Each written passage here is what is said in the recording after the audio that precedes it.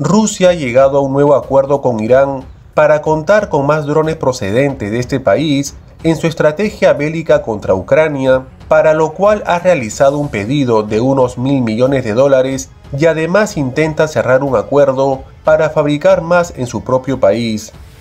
Más de nueve meses después del inicio de la operación militar rusa en Ucrania, el gobierno de Vladimir Putin vuelve a contratar a su aliado Irán 6.000 unidades de drones como los que ya ha utilizado para atacar al país vecino y generar graves daños en la infraestructura estratégica ucraniana.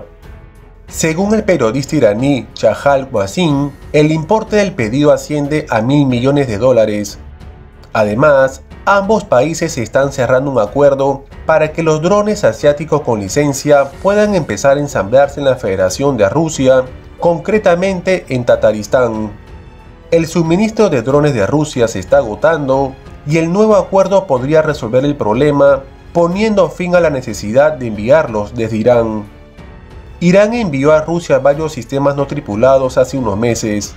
Los modelos fueron el Moajer 6 y un par de la serie Shahed 129 y 136.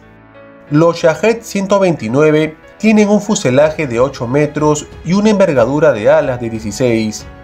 Su carga es de hasta 400 kilos y pueden alcanzar una velocidad máxima de 150 km por hora. Su autonomía es de 24 horas, lo que se traduce en un recorrido de 1700 kilómetros.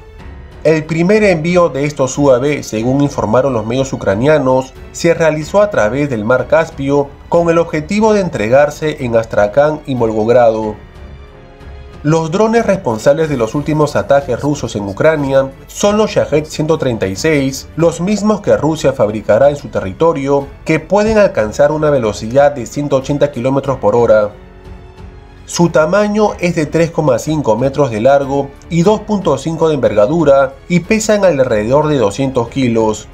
El Shahed 136 es un dron suicida bastante grande comparado con otro de su tipo y de bajo coste de fabricación.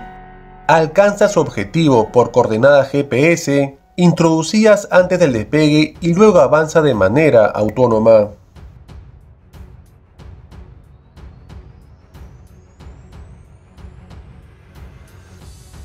De acuerdo a la información que les he presentado, no se olviden de dejar su comentario o punto de vista, ya que su opinión es muy importante para nosotros.